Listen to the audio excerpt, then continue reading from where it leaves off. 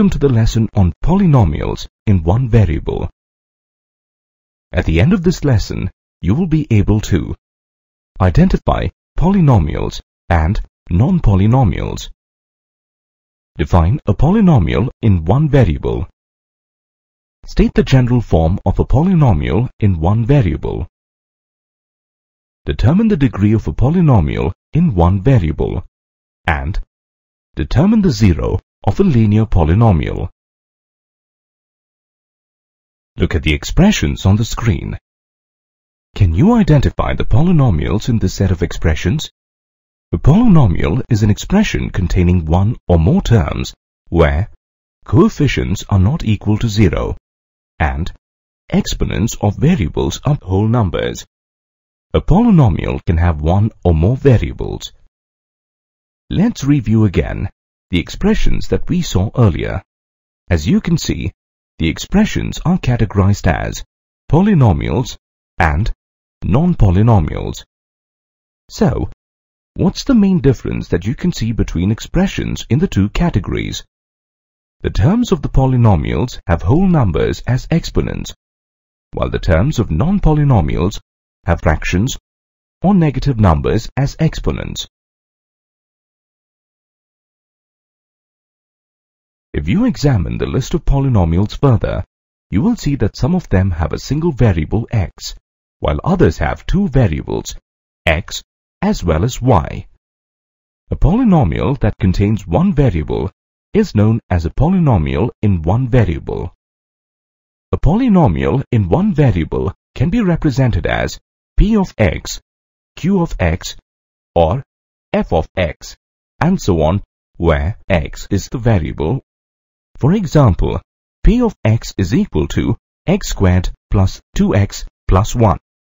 The general form of a polynomial in one variable is p of x is equal to anx to the power of n plus an minus 1x to the power of n minus 1 plus and so on till a0 where an, an minus 1 and so on till a0 are real numbers. The exponents of terms are whole numbers. n, the highest exponent, n, is the degree of the polynomial where an is not equal to 0. You can name a polynomial on the basis of its degree. A polynomial of degree 1 is called a first degree or linear polynomial. The general form of such a polynomial is ax plus b, where a is not equal to 0. The maximum number of terms is 2. For example, x plus 1 is a linear polynomial. A polynomial of degree 2 is called a second degree or quadratic polynomial. Its general form is ax squared plus bx plus c, where a is not equal to 0. It has a maximum of three terms. For example, x squared plus 2x plus 1 is a quadratic polynomial. A polynomial of degree 3 is called a third degree or cubic polynomial and is represented as ax cubed plus bx squared plus cx plus d, where a is not equal to 0. Such a polynomial can have a maximum of four terms. For example, x cubed plus 3x squared plus 3x plus 1 is a cubic polynomial Similarly, any polynomial of a degree greater than 3 is named on the basis of its degree, such as fourth degree polynomial, fifth degree polynomial, and so on. In a polynomial with one variable, the value of the variable where the value of the polynomial becomes 0 is the zero of a polynomial. In other words, the value of x for which the value of the polynomial equals 0 is the zero of the polynomial p of x. Let's take up a problem as an example. Find the values of a linear polynomial p of x is equal to 2x minus 4 at x is equal to 1, minus 1, and 2. Let's solve the polynomial for each of these values of x. First, Substitute x with 1 in the polynomial. The value of the polynomial is minus 2. Similarly, the value of the polynomial for x is equal to minus 1 and x is equal to 2 is minus 6 and 0 respectively. In this example, the value of the polynomial is 0 when x is equal to 2. Therefore, 2 is the 0 of the polynomial p of x is equal to 2x minus 4. In general terms, if p of x is a polynomial and k is a real number, and if p of k is equal to 0, then k is called the 0 of the polynomial. You can determine the 0 of a polynomial through two methods, by trial and error and by equating polynomial to 0. Consider a linear polynomial p of x is equal to 2x plus 4. Let's first use the trial and error method to find the 0 of this polynomial. To begin with, let x is equal to 1. Substituting 1 in the polynomial, you get 6 which is not equal to 0. If x is equal to minus 1, then the value of the polynomial is 2, which is also not equal to 0. Try using another value, 2, as the value of x. The value of the polynomial is 8, which is again not equal to 0. In the fourth try, you use minus 2 as the value of x. You will find that the value of the polynomial is 0. Thus, using the trial and error method, you can determine that the 0 of the given polynomial is minus 2. As you can see, the trial and error method can often be long and tedious. An easier way to determine the zero of a polynomial by using the other method, that is, equating the polynomial to zero. In this method, you can find the zero of the polynomial p of x is equal to 2x plus 4 by taking x as the subject. Thus, p of x is equal to 2x plus 4. p of x is equal to 0. Thus, the value of the polynomial 2x plus 4 is equal to 0. On solving you get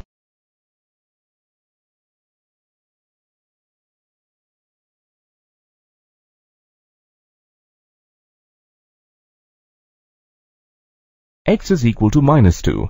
This indicates that the value of p of x is equal to 0 if x is equal to minus 2. Therefore, minus 2 is the 0 of polynomial p of x. Thus, you can obtain 0 of a polynomial by equating it to 0. Here is a simple problem that involves division. John has seven apples. He shares the apples with his friends, JC and Jill, so that all three of them get an equal number of apples. How many apples remain with John? To find the remaining number of apples, you need to divide the number of apples by the number of people.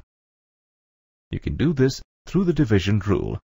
Each one of them gets two apples, which means six apples are distributed. Therefore, the remaining number of apples, or the remainder, equals 7 minus 3 times 2, which is equal to 1. As you can see, it is easy to perform these operations with integers.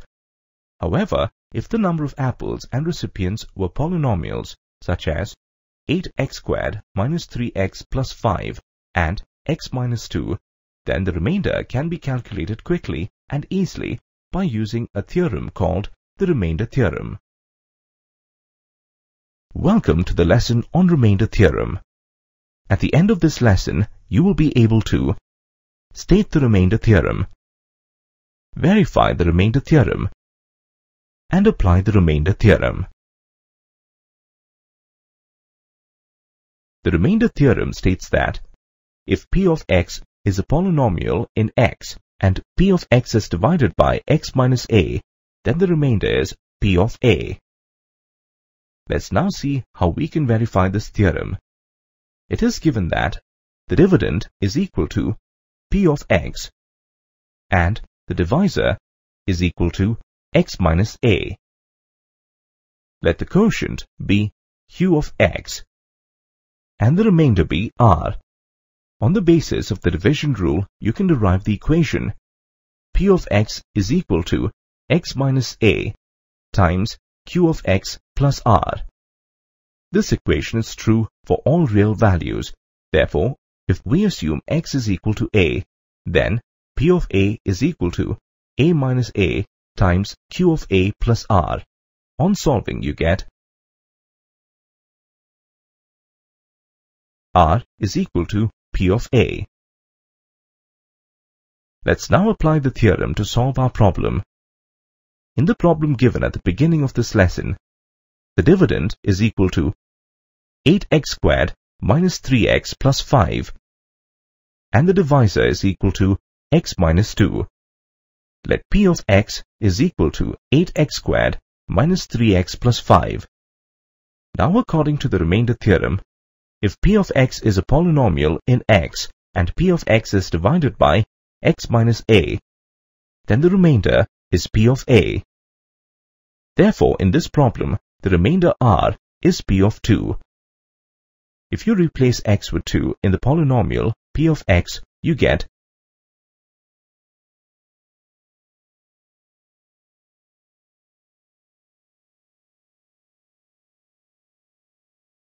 the remainder r is equal to 31. Remainder theorem states that if p of x is a polynomial in x and p of x is divided by x minus a, then the remainder is p of a. The remainder theorem specifies the remainder in cases where the divisor is x minus a. However, there may be cases where the divisor does not appear in the form x minus a. In such situations, you can use the following guidelines to determine the remainder in the division of a polynomial. If a polynomial p of x is divided by x plus a, then the remainder is p of minus a. If a polynomial p of x is divided by ax minus b, then the remainder is p of b divided by a.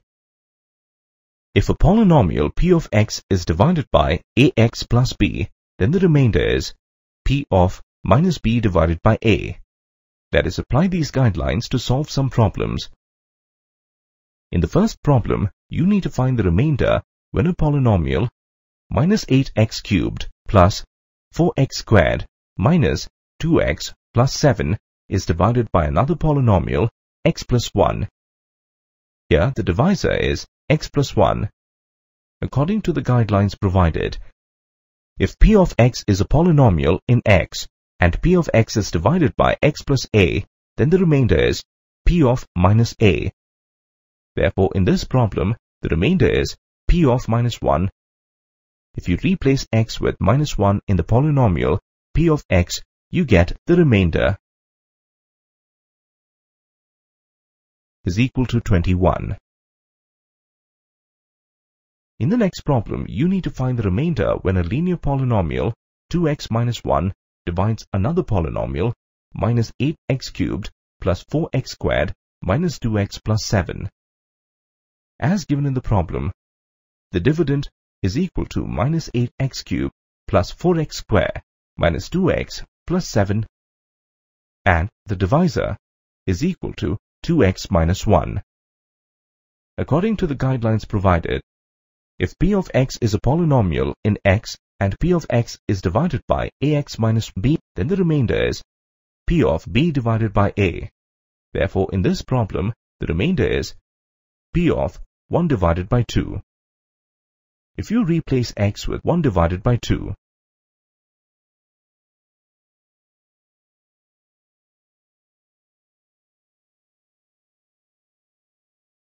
in the polynomial p of x, you get the remainder is equal to 6.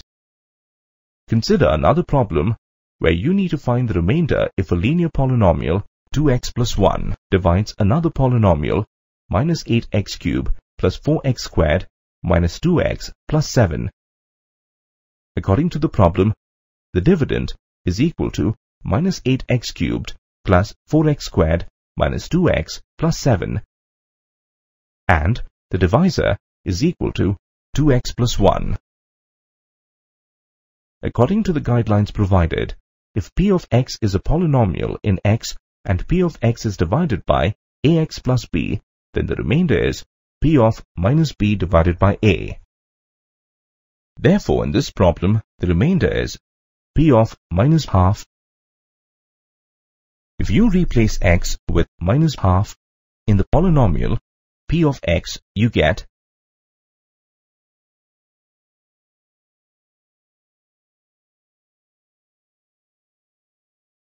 the remainder is equal to 10.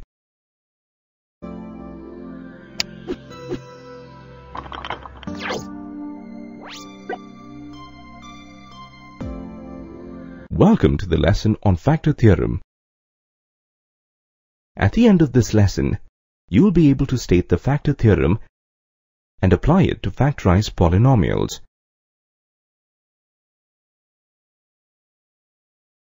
A polynomial is an algebraic expression consisting of multiple terms of variables and constants. These terms are combined by using mathematical operators, addition, subtraction, and multiplication. The exponents of variables must be whole numbers. A term can be a variable, a constant, or a product of the two. A real number that precedes the variable is called the coefficient. The variable of this polynomial is x. Hence it can be represented as p of x, which is the general form of representing polynomials. In this polynomial, the highest degree of x is 2. Thus, this is a quadratic polynomial. Now, let's factorize this polynomial. Here, we will write the polynomial in the form of this algebraic identity.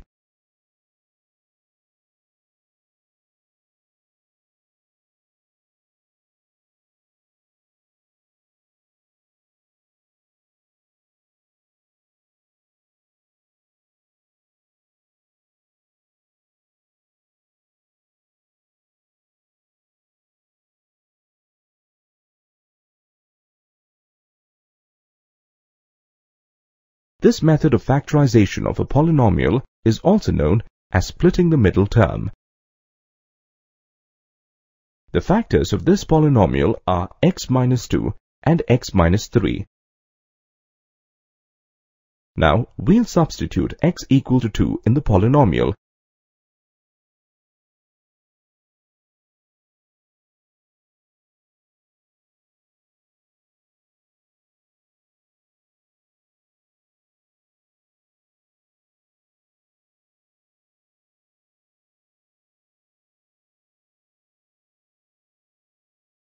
we get P of 2 equal to 0.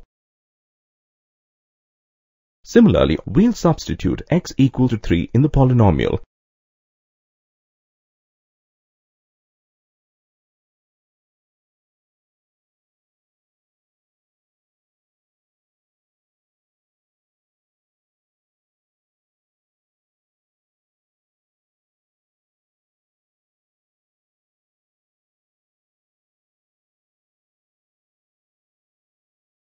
We get P of 3 equal to 0.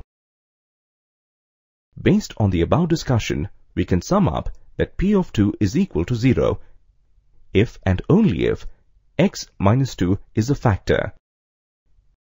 Similarly, P of 3 is equal to 0 if and only if x minus 3 is a factor. Let's generalize this for any real value of x. Consider P of x is a polynomial and a is a real number. If p of a is equal to 0, then x minus a is a factor of the polynomial. This is known as the factor theorem. This theorem is an extension of the remainder theorem. If the remainder becomes 0, then you can say that x minus a is a factor of p of x. Conversely, if x minus a is a factor of p of x, then p of a is equal to 0. The factor theorem can be used to factorize a polynomial or verify that a linear polynomial is a factor of another polynomial. Let's factorize this quadratic polynomial using the factor theorem. we'll find the factors of the constant term minus 4.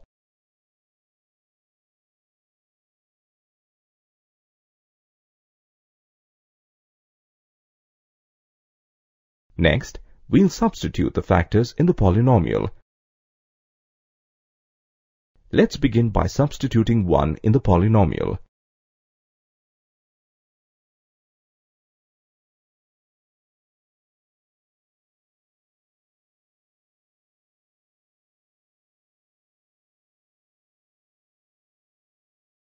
Here the polynomial becomes 0. Based on the factor theorem, we can say that x minus 1 is a factor of the polynomial. By performing the same for all factors,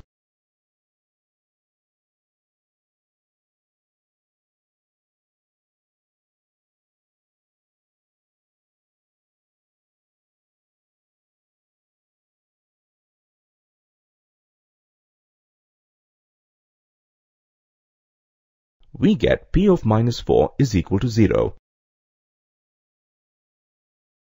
Therefore, x plus 4 is also a factor of p of x. This can also be obtained by dividing the polynomial by x minus 1. The obtained linear polynomials are the factors of the quadratic polynomial.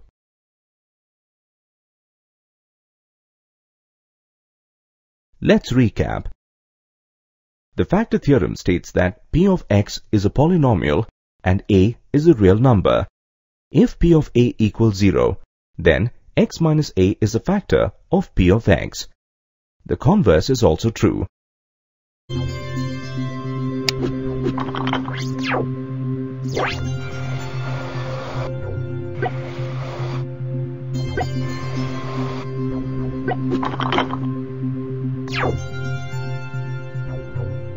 Welcome to the lesson on factorization of polynomials using algebraic identities. At the end of this lesson, you will be able to identify the third degree algebraic identities and derive the third degree algebraic identities. You will also be able to apply these algebraic identities to factorize cubic polynomials. You must be familiar with the algebraic identities of second degree listed here. These identities can be used to factorize quadratic polynomials. For example, consider the quadratic polynomial x squared minus 1. Which of these identities can be applied to factorize this polynomial? This can also be expressed as the difference of two squares. Hence, you can use this identity to factorize the quadratic polynomial. The obtained linear polynomials are the factors of the polynomial. Now, we'll consider another polynomial. The highest degree of this polynomial is 3. Hence, it is a cubic polynomial. How will you factorize this polynomial? We know that a cubic polynomial can be factorized by using the factor theorem. You can also use the algebraic identities involving third-degree terms to factorize a cubic polynomial. The polynomial must be in the form of whole cubes, sum, or difference of cubes.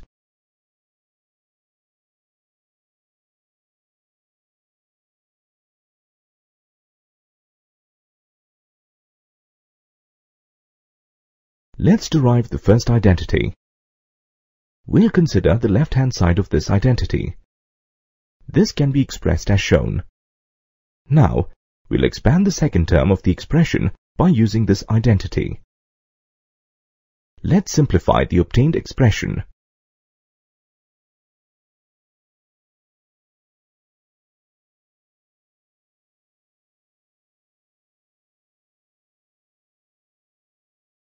This is the first identity.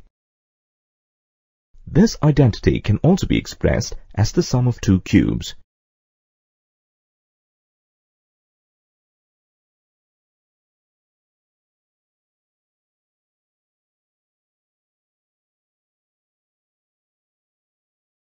you can use a similar approach to derive the second identity. You can express this identity as the difference of two cubes.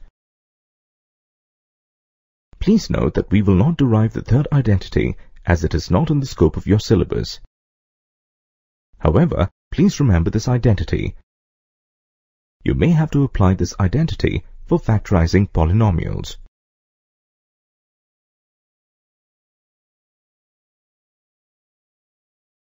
Let's go back and review the cubic polynomial that we have to factorize. We'll rearrange the polynomial.